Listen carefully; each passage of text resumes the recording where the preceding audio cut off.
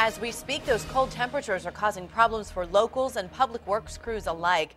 Workers are still trying to fix a broken water main in Newport News. And that is where we find 10 on your side's Lex Gray. She's at 35th Street between Wickham and Marshall. And Lex, we just heard there's actually a new problem out there.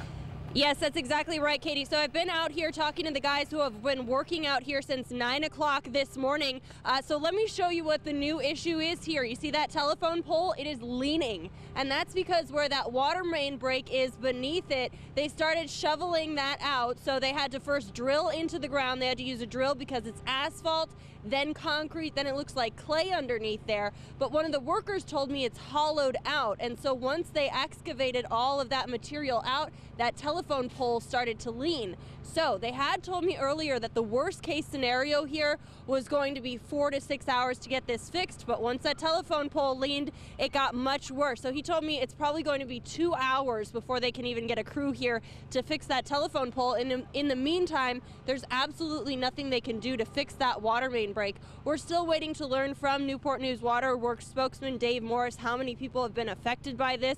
We probably won't know anytime soon because they need to be able to actually look at that water main and they're pumping the water out now but again they've completely stopped work so it's going to be quite some time before we have anything new on this. Don and katie back to you. All right lex thank you